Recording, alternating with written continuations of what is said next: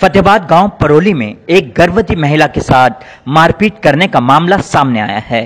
पीड़ित महिला ने अपने न्याय के लिए फतेहाबाद थाने में गुहार लगाई थी, लेकिन थाना फतेहाबाद पुलिस इस मामले में अनदेखी कर रहा है। उधर सूबे के मुखिया योगी आदित्यनाथ कहते हैं, उत्तर प्रदेश में महिलाओं के साथ मारपीट करने वालों के लिए कोई जगह नहीं है।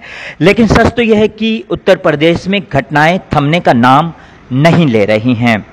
फतेहाबाद परोली से आरती देवी की ये रिपोर्ट। खेत के पीछे थे हम खेत दे रहे थे उन्हें के अपना खेत ले लो। वो कह रहे कि हम घर में से लेंगे। इसलिए हम बैठे में मारे। हमारे पेट में बच्चा हुई है रिपोर्ट नहीं ली हमारे पैसे भर दे उनने अच्छा फतेहाबाद थाने में आप थाने गई थी? हाँ गए थे। पुलिस आपसे जो मारपीट की आपने रिपोर्ट दी पुलिस ने आपकी रिपोर्ट नहीं ली?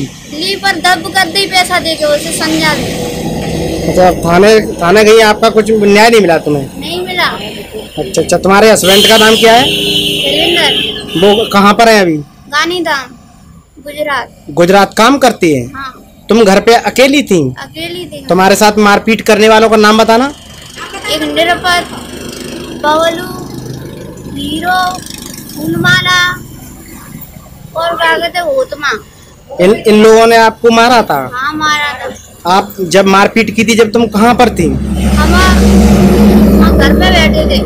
तो तुम्हारे घर पे आए थे मारने के लिए वो? गाली दे रही थी। और रिकॉर्डिंग रिकॉर्डिंग भी है गाली की। गाली की रिकॉर्डिंग भी है तुम्हारे पास? लेटे में उनने दिया था पेट पे बैठी थी। अच्छा अच्छा।